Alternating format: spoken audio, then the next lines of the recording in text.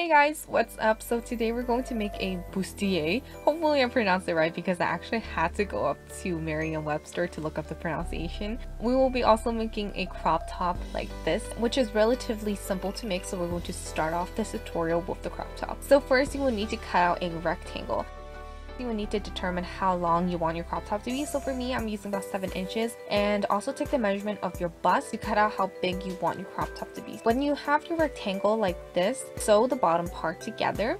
And afterwards, flip it inside out to cover the stitches. Sew the two sides of the rectangle. When you're done, fold the two ends of the rectangle together and add a zipper. And remember to use an open-ended zipper, for example, the ones you will find on a hoodie, or else you're going to have a really hard time wearing a crop top. And after you have sewed your zipper, you're basically done. So moving on to the bustier, we're going to start off with a bra. Okay guys, let's just be a little bit mature here. And I am using a wired one. Just cut out the extra pieces of fabric so right now you should have a naked bra like this and you want to cover this with fabric. Because I didn't want to have too much creases like this so I just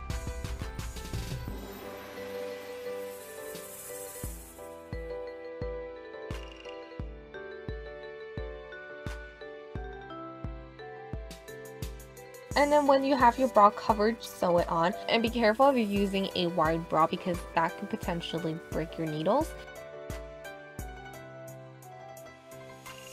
I'm going to sew the middle side together as well.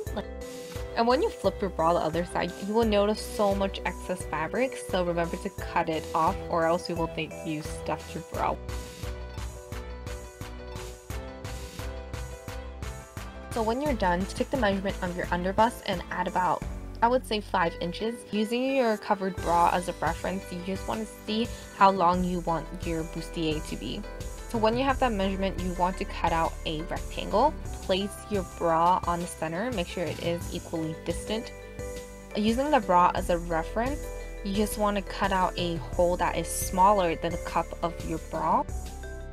So it should essentially look something like this. Afterwards, you want to take out some fabric glue and apply generous coats onto that little three shape.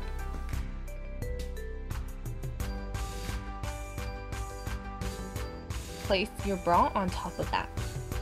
And let this dry for at least, I would say 10 hours. And it is completely secure, you just want to hem everything. And I totally recommend using a sewing machine because if you're hand sewing it, it's going to take you quite a long time. Or you can use hemming glue, but I've never experienced that, so I can't really tell you my review on it. So very similar to the crop top, you're just going to sew a open-ended zipper onto the ends of the rectangle.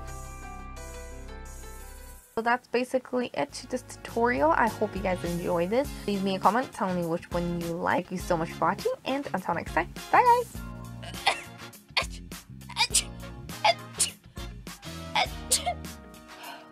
How many times is that? Five?